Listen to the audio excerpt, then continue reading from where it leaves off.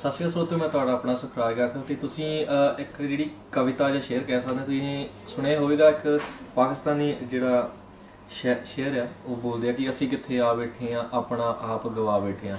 ਥੋੜਾ ਜਿਹਾ ਤੋਂ ਅੱਗੇ ਮੈਂ ਲਿਖਣ ਦੀ ਕੋਸ਼ਿਸ਼ ਕੀਤੀ ਉਹਨੂੰ ਆਪਾਂ ਭਾਵੇਂ ਪਾਰਟ 2 ਕਹਿ ਦਈਏ ਮੈਂ ਉਹਨਾਂ ਕੰਪੇਅਰ ਤਾਂ ਨਹੀਂ ਕਰਨਾ ਚਾਹੁੰਦਾ ਪਰ ਲਾਈਨਾਂ ਜਿਹੜੀਆਂ ਮੇਨ ਲਾਈਨਾਂ ਉਹ ਮੈਂ ਜ਼ਰੂਰ ਉਹਦੇ ਵਿੱਚੋਂ ਚੂਜ਼ ਕੀਤੀਆਂ। ਜਾਂ ਉਹਨੂੰ ਪਾਰਟ 2 ਕਹਿ ਸਕਦੇ ਆ ਜਾਂ ਫਿਰ ਆਪਾਂ ਉਹਦਾ ਇੱਕ ਸਟੂਡੈਂਟ ਲਾਈਫ ਜਿਹੜੀ ਆ ਨਿਊਜ਼ੀਲੈਂਡ ਦੇ ਵਿੱਚ ਜਾਂ ਉਹ ਆਪਾਂ ਉਹਨੂੰ ਕਹਿ ਸਕਦੇ ਆ। ਸੋ ਕੁਝ ਲੈਣਾ ਇਦਾਂ ਹੈ ਜੀ। ਅਸੀਂ ਕਿੱਥੇ ਆ ਬੈਠੇ ਆ? ਆਪਣਾ ਆਪ ਭੁਲਾ ਬੈਠੇ ਆ। ਸੁਪਨੇ ਪੂਰੇ ਕਰਨ ਸੀ ਜਾਣਾ। ਸੁਪਨੇ ਸਾਰੇ ਭੁਲਾ ਬੈਠੇ ਆ।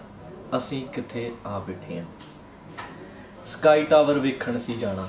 ਸਮੁੰਦਰ ਦੇ ਵਿੱਚ ਨਹਾਉਣ ਸੀ ਜਾਣਾ। ਸੈਰ ਸਪਾਟੇ ਦੇ ਚੱਕਰਾਂ ਵਿੱਚ ਅਟੈਂਡੈਂਸ ਹੀ ਸ਼ਾਰਟ ਕਰਵਾ ਬੈਠੇ ਆ।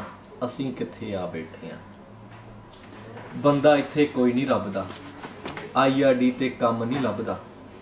ਕੈਸ਼ ਕੰਮ ਕਰਕੇ ਵੀ ਟੈਕਸ ਦੁੱਗਣਾ ਪਵਾ ਬੈਠੇ ਆ, ਅਸੀਂ ਕਿੱਥੇ ਆ ਬੈਠੇ ਆ? ਪੀਆਰ ਦਾ ਕੋਈ ਚਾਂਸ ਨਹੀਂ ਲੱਗਦਾ।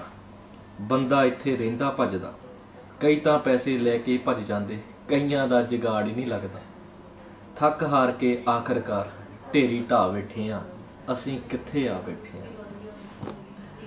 ਪਿੰਡ ਤਾਂ ਮੋਟਰਸਾਈਕਲ ਤੇ ਹੀ ਗੇੜੇ ਲਾਈਦੇ, ਇੱਥੇ ਬੱਸਾਂ ਟ੍ਰੇਨਾਂ ਵਿੱਚ ਧੱਕੇ ਖਾਈਦੇ। ਪਾਪਾ ਟੋਏ ਤੋਂ ਬਰੀਟੋ ਮਾਰਟ ਤੇ ਬਰੀਟੋ ਮਾਰਟ ਤੋਂ ਪਾਪਾ ਟੋਏ ਤੱਕ। ਪਤਾ ਹੀ ਨਹੀਂ ਕਿੰਨੇ ਕ ਗੇੜੇ ਲਾ ਬੈਠੇ ਆ, ਅਸੀਂ ਕਿੱਥੇ ਆ ਬੈਠੇ ਆ। ਸਵੇਰ ਕੰਮ ਤੇ ਰਾਤ ਨੂੰ ਘਰ, ਆਟਾ ਗੁੰਨ ਤੇ ਸਬਜ਼ੀ ਧਰ ਰੋਟੀ ਪਕਾਉਣ ਦਾ ਝੰਜੜ ਮੁਕਾਉਣ ਲਈ ਟਿਫਨ ਸਿਸਟਮ ਲਵਾ ਬੈਠੇ ਆ, ਅਸੀਂ ਕਿੱਥੇ ਆ ਬੈਠੇ ਆ। ਪਰਦੇਸਾਂ ਵਾਲੀ ਜ਼ਿੰਦਗੀ ਬੜੀ ਔਖੀ, ਬੰਦਾ ਨਿਤ ਮਰਦਾ ਬੋਟੀ ਬੋਟੀ। ਜ਼ਿੰਦਗੀ ਨਵੀਂ ਬਣਾਉਣ ਲਈ ਘਰ-ਬਾਰ ਹੀ ਦੂਰ ਕਰਵਾ ਬੈਠੇ ਆ। ਅਸੀਂ ਕਿੱਥੇ ਆ ਬੈਠੇ ਆ ਸੋ ਸਰੋਤੋ ਇਹ ਸੀ ਥੋੜੀਆਂ ਲਾਈਨਾਂ ਲਿਖੀਆਂ, ਜੇ ਤੁਹਾਨੂੰ ਵਧੀਆ ਲੱਗੀਆਂ ਲਾਈਕ ਕਮੈਂਟ ਦੇ ਨਾਲ ਸ਼ੇਅਰ ਜ਼ਰੂਰ ਕਰ ਦਿਓ ਜੀ। ਧੰਨਵਾਦ।